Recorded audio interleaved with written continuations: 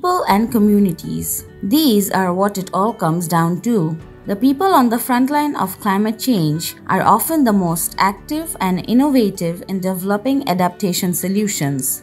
Yet, they lack access to the resources and agency, both of which are needed to implement the solutions effectively. Locally led adaptation LLA can unlock, support, and leverage communities' enormous potential and creativity in this regard. Shifting power to local stakeholders without the burden of adaptation can catalyze adaptation, making it effective, equitable, and transparent.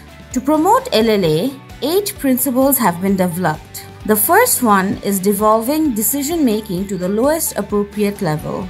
This gives communities more direct access to finance and decision making power.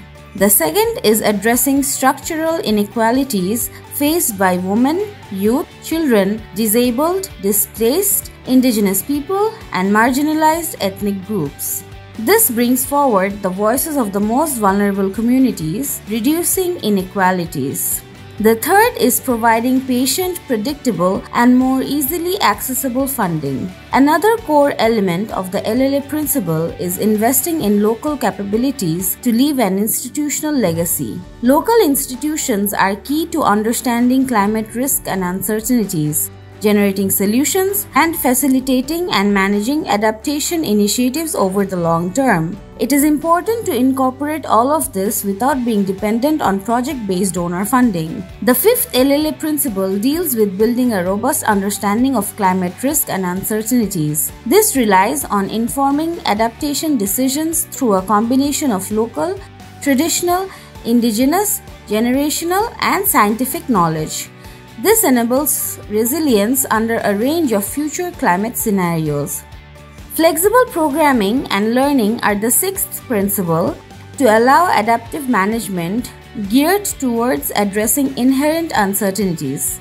Ensuring transparency and accountability are a must and is thus the seventh principle. Next comes collaborative action and investment.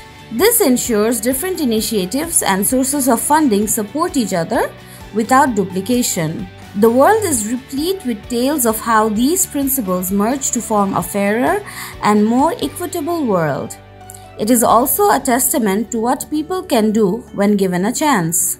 Empowering communities changes the face of those communities.